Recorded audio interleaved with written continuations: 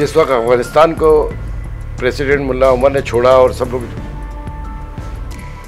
छोड़ के इनके हाथ में सब कुछ दे दिया वो उनकी फतह का दिन था इनकी शिकस्त का दिन था। क्योंकि फिर पकड़ भी नहीं सके ना ये लोग। ये जंग 20 बरस चली है।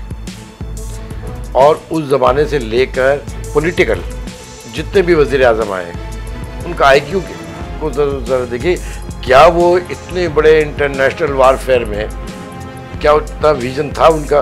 वो 35 लाख अफगानी जो अफ़गानिस्तान के 1979 के आए थे, वो मौजूद थे और उनकी मौजूदगी में जंग चल रही थी।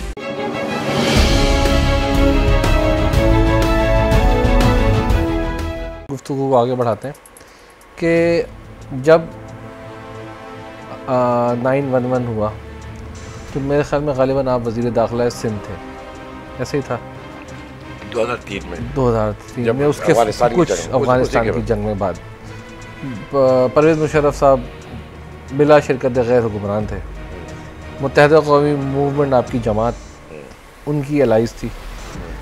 जैसे पाकिस्तान अमेरिका का फ्रंट लाइन पार्टनर था उसी तरीके से मुतहदा कौमी मूवमेंट परवेज़ मुशरफ साहब की फ्रंट लाइन पार्टनर थी। उस वक्त अमेरिका का मुतालबा था do more and do more and do more America उस वक्त कह रहा था डू मोर और आज अम, आज अमेरिका कहता है नो मोर कुछ ऐसा ही है। तो मुझे ये मैं सुनना चाहूँगा क्योंकि आज तक कभी इन बातों से ये बात राज नहीं खुले ये वो पर्दा नहीं खुला। कि आपके दौरे हुकूमत में आपके ऊपर कौन सी सख्तियाँ थीं या फेडरल गवर्नमेंट की तरफ़ से या पाकिस्तान के दीगर इदारों की तरफ़ से? कुछ बातें तो हसास हैं वो हसास ही हम रहने देंगे। ऐसा कहा था।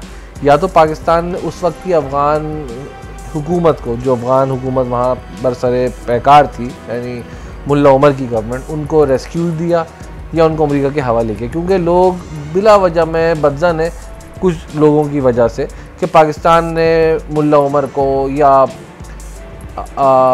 आफिया, डॉक्टर आफिया सिद्दीकी को, जो कुछ नाम मुझे याद हैं, उनको प्लेट में हथेली में रख के दिया। जबकि मेरा तजिया या अंदाज़ा ये कहता है कि परवेज़ मुशरफ साहब ने या उनकी गवर्नमेंट ने, आप ही गवर्नमेंट ने उनको रेस्क्यू किया और और अमेरिका को उस चीज़ का अंदाज़ा ही नहीं होने दिया कि अमेरिका के साथ हुआ क्या। अब असल हक़ कह रहा हूँ भाई, वो तो आज आपके मुँह से हम सुनना चाहेंगे। बहन सतूर तो आपने सारी बातें कह दी। देखिए, पहली बात ये थी कि अब आज तो बैठ कर एक वक्त गुजर गया ना, आज तो बैठ के आप जो चाहे कहें। उस दुनिया के उन हालात को देखिए, खुद 9/11 ही एक मुतनाज़ा वाक़ है। मेरा 9/11 का जब ये वाक़ हुआ था ट्विन टावर का तो 24/11 को मेरा एक आर्टिकल छपा था। उसके बाद तो मैंने बहस हुआ ऐसे लोगों को देखे कि 9/11 हुआ क्या था। ये मौजू भी हमारा नहीं है। लेकिन उसकी बुनियाद के ऊपर जितनी गैर ज़िम्मेदाराना और बल्कि उनके प्लान का हिस्सा था गैर ज़िम्मेदारी मैं क्या कहूँ? उस ज़माने के उनके प्रेसिडेंट प्रेसिडेंट बुश ने जानबूझ के चंद जुमले ऐसे छोड़े थे। और उसके बाद उन्होंने तरदीद भी की कि ये क्रोसेड है ये सलीबी जंग है। उसके बाद उन्होंने बा- बाकायदा बिल्कुल ऐसे ही हमने भी सुना एक दुनिया की सुपर पावर का एक प्रेसिडेंट जो है वो जुमला हल्के अंदाज में बोल के मोटिवेट कर रहा है ना पूरे रेस्ट ऑफ़ द वर्ल्ड को ये कि क्रोसेड आइए आप। उसको लोगों ने उसी अंदाज से लिया। उसके बाद, एक के बाद एक मुल्क, वो तबाही करते गए इस्लामी मुल्क को। टारगेट पे ले लिया। उस सिनारियों में अफ़गानिस्तान का मामला और पाकिस्तान का मामला इस लिहाज से एक अखवत का रिश्ता, एक इस्लाम का रिश्ता। ये एक ऐसी बाइंडिंग फोर्स है रही है और तमाम दुनिया के मुसलमानों के साथ कि मसलकी इख्तलाफात भी हों मजहबी इख्तलाफात भी हों इलाकाई इख्तलाफात भी हों। लेकिन इस्लाम एक बाइंडिंग फोर्स है। इसके लिहाज से पाकिस्तान और अ, अ, और अफ़गानिस्तान का एक रिश्ता टूट नहीं सकता। था। और फिर जो जवाब बनाया वो इतना बोधा था कि उस हमले को ही खुद उनके मालिक के लोगों ने शदीद मुजाहरे भी किए। जी। और मानने न्यूयॉर्क से इनकार किया। है, बिल्कुल ऐसा ही। तो वो जो उस वक्त मुखालिफत करने वाले लोग थे वो इनसे ज़्यादा समझदार थे। उनसे बड़े दानिश्वर थे जो सड़कों पे निकल के इन जंगों को रुकवा रहे थे। जाए कि वो जो इस जंग को प्लान करके बैठे थे कि इसमें आपको मिलना क्या है। और पाकिस्तान का मामला ये है कि पाकिस्तान पड़ोसी मुल्क भी है एक फ़िलासफ़ी के साथ अटैच भी है। और सबसे तवील सरहद भी उनके साथ है।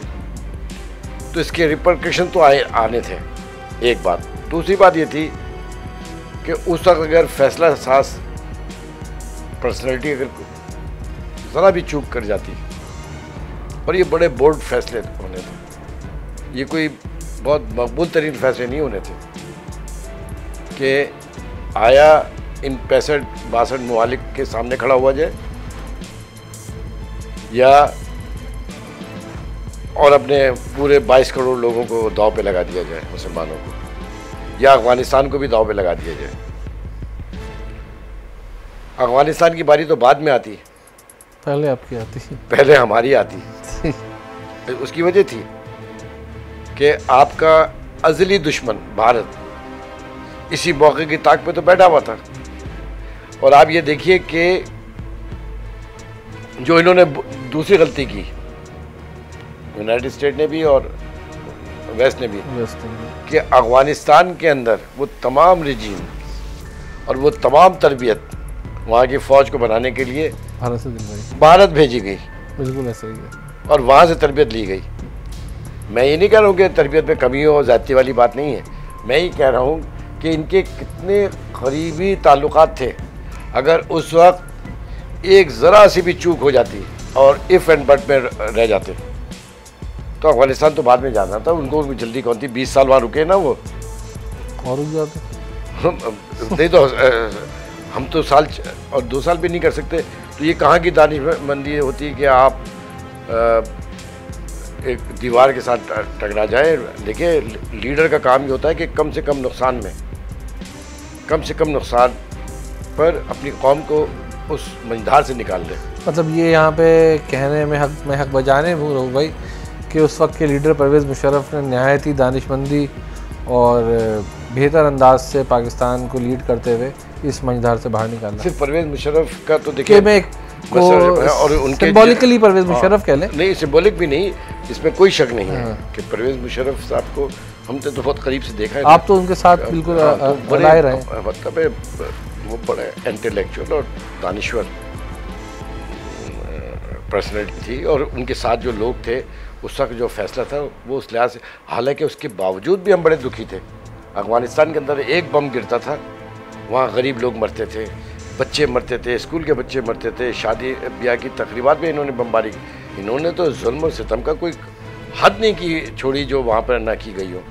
उसका एक एक बम जो गिरता था, वह हम, उस हुकूमत में भी होते थे तो हमारे दिल पे रखता था। फिर एम के एम चूँकि उस वक्त इत्यादी जमात भी थी और ज़ाहिर बात है, वेस्ट और अमेरिका की हिमायत भी कर रही थी। उसके बावजूद मेरा दिल तो बड़ा दुखता था जब मैं ये खबरें देखता था।